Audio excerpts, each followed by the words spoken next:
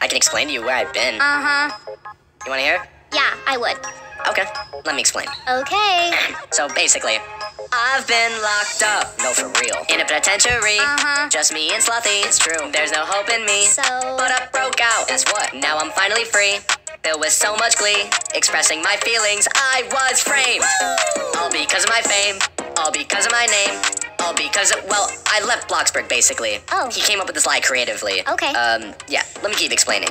So I had a kid named Baby Poke. I did. No, this isn't a joke. It's not. But I left him here. I did. He started to go broke. He did. So he framed my name. He did. And asked me to stay. Oh my. All for some pay. Why? That's what I'm saying. I was gonna text you back, I swear. I was gonna call you back, I swear. But the cops locked me up over there. I wanted to pull out my hair. It felt like a dungeon lair. Uh, it did. It felt like a dungeon lair. Oh. No, literally, it was horrible. I've been locked up in a penitentiary. Okay. Feeling so lonely. It's true. There's no hope in me.